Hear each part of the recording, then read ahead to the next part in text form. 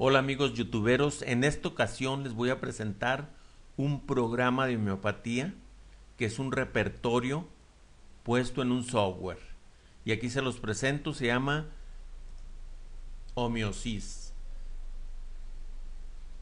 Aquí tenemos la presentación y la licencia del titular de acuerdo a la ley de derechos de autor para que mejor lo compren y no violen los derechos.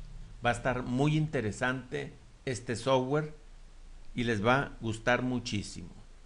Entonces para comenzar le damos acepto. Posteriormente le vuelven a dar acepto, es una protección egipcia que puso aquí el autor.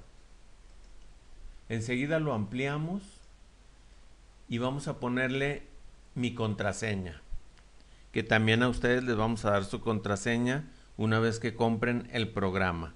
No crean que está caro, es muy económico. Aquí tenemos el programa Diomiosis 2K10 que está hecho en el año 2010. Aquí hay diferentes casilleros en donde tenemos expediente, repertorizar, segunda visita, botequín, biblioteca, control de pacientes, listados, reorganizar, yo te repertorizo, manual, ayuda y salir. Bueno, vamos a comenzar no con el expediente, vamos a comenzar con la segunda visita. Aquí tenemos la segunda visita del paciente después que le dimos el medicamento. Vamos a ver si tuvo una grabación intensa, larga grabación, corta mejoría y enseguida, etcétera, etcétera, nos va a dar el porqué de las cosas. Le oprimen aquí, por ejemplo, a grabación intensa al principio, seguida de larga mejoría. ¿Qué es lo que vamos a obtener? Buena selección del remedio miopático. Entonces ya aquí le damos salir porque queremos continuar le damos escape para que se borre esta lista. Si no se borra, le damos clic en otra parte. Enseguida vamos a ver la biblioteca. En esta biblioteca hay varios libros donde se van a enriquecer con diferentes temas como son accesorios, diccionario, términos médicos, flores de Bach, hipnosis ericksoniana, iridiología, las observaciones de Ken, materia médica comparada, nutrición, potencias recomendadas y programación neurolingüística. Para ir a cada una de estas secciones solamente le tienen que dar clic en el tema que les interesa. Aquí le doy clic y aquí hay varios subtemas. Aquí están todas las flores de Bach. Si yo le doy Ebulia, nos da ese medicamento y ahí está la descripción total del medicamento. Como yo no quiero estar aquí, me salgo. Una vez que me salgo, le doy escape o salir aquí para que me salga de la biblioteca. Entonces aquí me voy a control de pacientes. Cuando ustedes no encuentren algún paciente o que no lo recuerden y que solamente recuerden el domicilio o teléfono o simplemente se van a revisión de pacientes, aquí van a encontrar a todos sus pacientes. Yo aquí los tengo absolutamente a todos, que son bastantes. Tengo pacientes en todo el mundo, en más de 23 países. Entonces, cuando ustedes buscan una persona, aquí la van a encontrar en este listado. Entonces dice, ¿quieres borrar los marcados? Porque también pueden borrar los pacientes que ya no vengan o que ya no les interesó la consulta. Como aquí yo no quiero borrar ningún paciente, le voy a poner que no. Enseguida le damos salir. Después de eso, nos vamos a listados. ¿Qué son los listados? Eh, bueno, es un centro de impresión, donde van a ver directorio de pacientes, botiquín de remedios, repertorio parcial, pantalla, impresora. Como a mí no me interesa hacer ninguna impresión, le doy cancelar. Aquí dice yo te repertorizo. Este es lo mejor que trae esta última edición, que es un autorrepertorio. Por ejemplo, si yo voy a ver a una persona o a un niño que traiga problemas con dentición, a lo mejor le voy a poner dentición, problemas con diarrea y ya le doy al siguiente. Aquí me va a pedir cómo es ese niño. Aquí va a ser muy fácil repertorizar porque solamente le van a poner clic en cada uno de estos casilleros. Ya nos vamos al siguiente, nos vamos a, a ir a afecto. En afecto tenemos varios casilleros también. Entonces, si el niño es cariñoso, le ponemos que es cariñoso, si es rencoroso, si se ofende. Toda la sintomatología mental que tenga el niño, adelante, se lo van a poner. Ahorita no vamos a repertorizar desde aquí, vamos a repertorizar sobre el repertorio general. Pero solamente les estoy enseñando que desde aquí puede ser una repertorización mucho más rápida. Aquí nos vamos a ir al siguiente, nos vamos a ir a intelecto. En intelecto nos vamos a ir sobre ansiedad. Si el niño tiene ansiedad, desesperación, aquí le van a poner clic en donde ustedes quieran o se lo van a quitar con otro clic. Si el niño es hipersensible, nos vamos a fijar a qué es hipersensible, si tiene alucinaciones, cómo está su memoria, si está llorando, su lenguaje cómo es, y ya nos vamos al siguiente. Si el niño es temeroso, aquí nada más le van a dar clic en lo que sea temeroso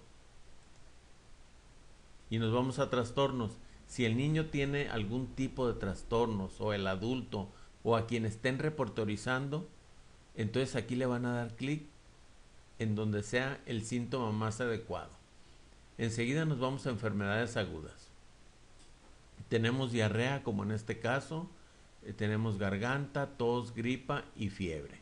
Por ejemplo, si alguien llega con fiebre, te vas directamente a la pestaña de fiebre si la fiebre es con delirio furioso, pues solamente te vas a darle clic aquí exactamente. Si es por la tarde, también le das clic aquí. Si es por la noche, igual. Según como, como tú lo quieras poner. Aquí tenemos otra pestañita que nos da el aspecto de la persona que trae la fiebre. Si es por gripa, si es cara pálida, si es fiebre tifoidea, si es con debilidad, palidez, etc. Si es con dolor, Aquí le ponen en dónde trae exactamente el dolor acompañado de la fiebre. Aquí están los horarios, aquí está la mentalidad. Si la fiebre es con ansiedad, con temor, aquí le dan clic, lo seleccionan. ¿Ok? Nos vamos al tipo, tipo de fiebre. Si es fiebre amarilla, continua, exantemática, gástrica, puerperal, etc. Nos vamos a otros fiebre al aire libre, fiebre al aire libre aumenta de un lado, del lado derecho, del lado izquierdo, etcétera, etcétera. ¿Qué les parece? Este es el autorrepertorio para que ustedes hagan una repertorización mucho más rápida. Si ustedes quieren hacer una repertorización sin expediente, pues se van directamente aquí y le empiezan a poner los datos. Para salirme de aquí, le voy a poner salir del repertorio y ya me salgo completamente del repertorio. Pero ahora voy a hacer un expediente. Por ejemplo, aquí tengo a una persona, un niño. Vamos a poner que ese niño se llama apellida Rodríguez Ortiz Samuel. Aquí estoy tomando los datos. Le doy Enter. Al darle Enter, me va a pedir que si lo quiero agregar, que no existe, crear un expediente, le voy a poner que sí. Al momento que le digo que sí, me da su expediente de Samuel Rodríguez Ortiz. Por ejemplo, aquí le voy a poner la calle donde yo vivo, que es calle Colón, número 30, Colonia Centro de Tonalá, Jalisco, México. Aquí le puedo poner mi teléfono 33 36 83 38 82. Enseguida grupo, si ustedes quieren seleccionar a sus pacientes por grupo lo pueden hacer y aquí le ponen el número de grupo. Sexo, mucho, no, no se crean. Sexo, masculino, femenino. En ese caso es un niño y le voy a poner masculino. Estado civil, le voy a poner que es soltero. Fecha de nacimiento le voy a poner que es del 20 de marzo del 2000, del 2000 le voy a poner. Perfecto. Entonces aquí eh, hay, hay varios botones. Uno es repertorizar, autorrepertorio, que es el que ya vimos. Aquí es imprimir historial, dar de baja algún paciente y salir del menú. En este caso nos vamos a repertorizar. Cuando yo quiero hacer una búsqueda especial, me voy tanto aquí en esta búsqueda especial, en este botón en específico, o me voy por acá arriba en BB. En este caso yo quiero irme por este botón búsqueda especial. Le voy a poner dientes, dolor, le doy en síntomas generales y aquí me sale varios, varios síntomas. En este caso yo quiero irme a, a seleccionar dientes dolor en niños. Y aquí me lo marca. Dientes dolor en niños en síntomas tomados en esta pantallita que está del lado derecho. Yo sigo con mi repertorización. Quiero todavía estar en síntomas generales. Le voy a poner diarrea durante la dentición. Aquí lo tengo. Para tomar este síntoma, lo pueden tomar presionando la tecla Alt y sin dejarla de presionar, le ponen la T. Y ahí están tomando este síntoma, diarrea, dentición durante la. Me voy a salir de aquí. Una vez que me salgo de aquí, me voy a otro síntoma. Me voy a síntomas mentales llanto, dolor.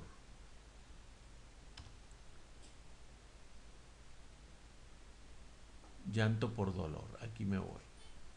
Cuando sale el síntoma aquí del lado izquierdo, con tan solo darle un clic, sale automáticamente. Ok, me voy a ir a la mentalidad del niño, MM. Aquí estamos en síntomas mentales. Ese niño es caprichoso. Le doy enter. Aquí me pone varios. Caprichoso, caprichoso al anochecer, al mediodía. Caprichoso, desea cosas que luego rechaza. Voy a seleccionar este, aquí me lo manda y sigo. Este ya no me interesa. Entonces aquí, para totalizar todos los síntomas que nosotros pusimos, le vamos a dar ver el cálculo que es CC. CC. Automáticamente aquí ya me da todos los medicamentos principales. Por ejemplo, eh, aquí nos dice que chamomilla es 100% similar a los síntomas que nos está marcando el medicamento. Por ejemplo, el síntoma 1 tiene grado 3, el síntoma 2 que es diarrea Dentición durante la es grado 3. Llanto por dolor es grado 1 en chamomilla. Y el 4, caprichoso, desea cosas que luego rechaza, es grado 3. Entonces el medicamento a elegir, el constitucional, para ese niño que sufre de la dentición, que trae dolor y diarrea, es exactamente chamomilla. Aunque ustedes pueden seguirle buscando, si ya son expertos en materia médica, Pueden ver todos estos. Rion es muy parecido a Chamomilla, también es muy caprichoso, corajudo, tiene mucha ira. Cofea es un niño superactivo. Mercurio es un niño maloso. Pulsatila es un niño sentimental. Entonces aquí pueden ir recorriendo todos sus medicamentos y observando qué es lo que le dice, en este caso, la mamá de su paciente o el papá quien venga acompañándolo. Aquí nos vamos a salir. Si ustedes quieren ver la materia médica del medicamento más importante, le oprimen aquí a ver materia médica. Y los manda directamente a chamomilla o camomila, como le dicen muchos. Aquí están los síntomas mentales, generales, particulares y un resumen, sus complementarios y sus antídotos. Continuamos. Entonces aquí el medicamento para elegir es chamomilla. ¿Qué les parece? Se los dejo de tarea para que ustedes vean cómo funciona esto. Si lo desean adquirir, nosotros lo tenemos aquí en la Universidad Virtual de Chile. Por último, para copiar al expediente, lo único que tenemos que hacer es FF. Aquí nos dice copiar al expediente, claro que lo quiero copiar. Ya lo copió, me pide otra vez copiar, también lo, lo ponemos. Aquí está doblemente copiado. Yo le doy escape para salir y me dice salir, copiar el expediente, totalmente sí. Aquí tengo ya toda la repertorización del niño con todos sus síntomas y procedo a darle su medicamento chamomilla. En un principio yo le daría chamomilla 200 como única toma, seguido de chamomilla 30 y van a ver que va a actuar como arte de magia. Bueno, me despido de ustedes con un fuerte abrazo. Espero que les haya gustado este video tutorial. Les dejo mi correo electrónico para el que esté interesado en este maravilloso software de homeopatía. Con todo gusto les brindo toda la información de vida. Hasta luego.